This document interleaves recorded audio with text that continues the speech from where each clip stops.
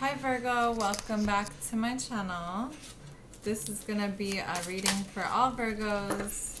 You might have Virgo in your chart. You could have um, moon, rising, or sun, or Venus.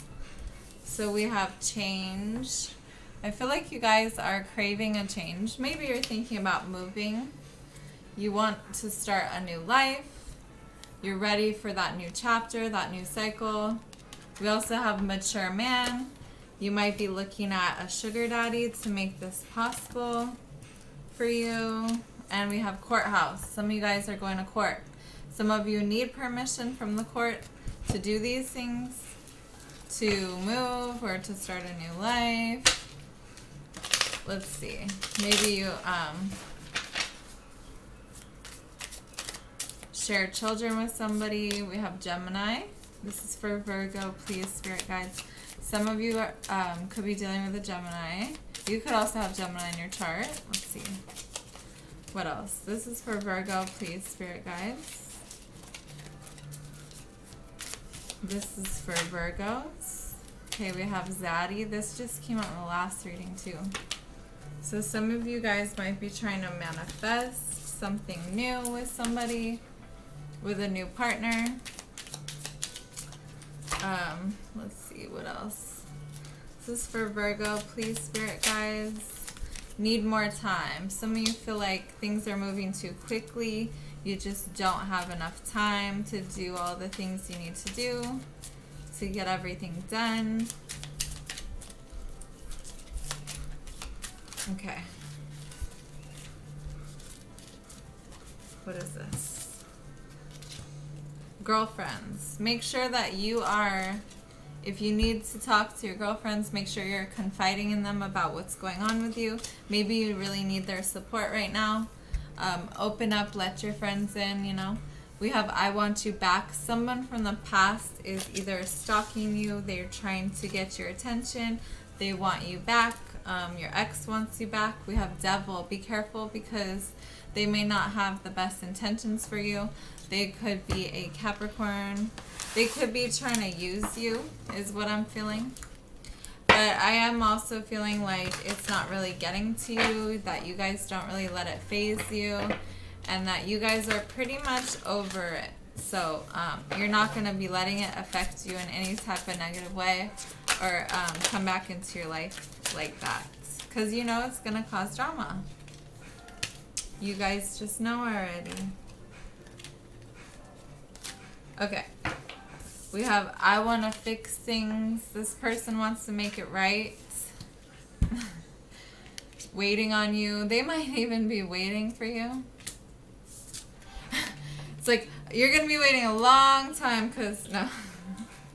cuz you got cut off here, right?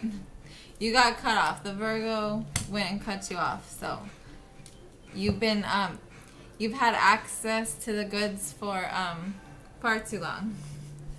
You're getting cut off. You broke my heart. This is what they may want to say to you.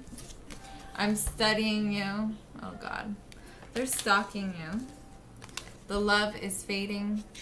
They're trying to say, if you don't hurry up and love me, I'm going to get over you. You're like, I've been over you. this ex is delusional. Roller coaster love things have been up and down with this person and you're over it. You're tired of the up and down. You don't want to deal with it anymore. We have good old fashioned love. So this person may feel like um, things are just so comfortable with you. Like they remind you of an old school love. They think that you guys are going to be together forever. Like you've been together since you were kids and they just think that you're going to end up together again. And it's just a matter of time. And you're like yeah get over it. This could be an aquarius star card. You guys are wishing hoping and wanting for better things a better life. You're moving forward. You're over it. You don't want to deal with it anymore. You do not think it's gonna just go back to normal. Things are gonna go back to being good like how they think and everything's gonna be okay. Yeah, Queen of Wands could be dealing with a um, fire sign, so that would be Aries, Leo, or Sagittarius. But I feel like this is you guys, you're embodying this driven, fiery, feisty energy. This is ambitious. The Queen of Wands goes after what she wants. She doesn't care what people think. And that's how you guys feel. You guys are over it. You're not going to wait around for anybody. You're not waiting for answers. You're not waiting for them to tell you that they love you back. You're just, you're gone. Two of Pentacles. This could be juggling. This could also be indecisiveness. It could also be it's time to decide, right? For what you truly want. Because judgment card is here. It could be a Scorpio. Judgment day is coming. The chariot. You guys could be moving. This is cancer energy. This is healing and moving forward. This is you want to get out of town. You want to travel.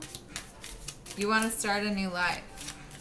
The Judgment Day. Judgment card can mean second chances, but it could also mean, for me as a reader, it's like, you know, what you reap is what you sow, right? Like Judgment Day has come. So it's time for all the chips to fall where they may, okay? So um, if someone didn't make it in enough time, right? We had this card earlier, need more time. They feel like they need more time, maybe. They feel like they're running out of time. You know, um, if they don't get, if they weren't able to make it right by you in time, you're moving on without them, right? With or without them, doesn't matter. You're going places. You don't care. You're not going to wait for anybody. So you're like, okay, I'm done. See ya. It's been good. Anything else? Knight of Wands, Sagittarius energy.